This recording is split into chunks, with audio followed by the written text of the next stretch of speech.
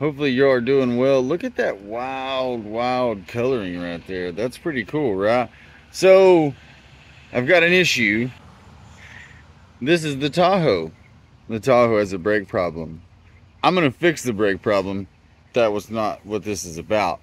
What this is about is that I have a problem. I'm to actually have to have surgery on Monday, and I will be down for anywhere from two to six weeks.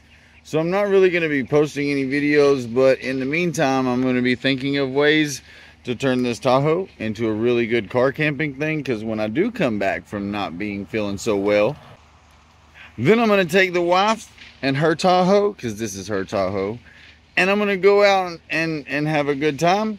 We're going to do some some camping. I'm going to go stay up on the Tennessee North Carolina state line.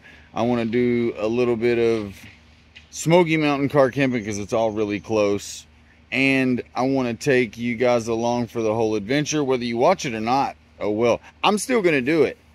One of the biggest changes to the channel, especially after coming out of this surgery, is it's just going to be videos of me doing what I really want to do. And if you guys don't want to watch it, then I guarantee that there's somebody on here that you do want to watch. But if you do want to watch me and you want to help me see more places, you can go back and share all of my videos and share this video. I'll be down for two to six weeks. I'm not asking for any donations, nothing like that. Got it all figured out. I just want to come back and make good content that I really love and I enjoy.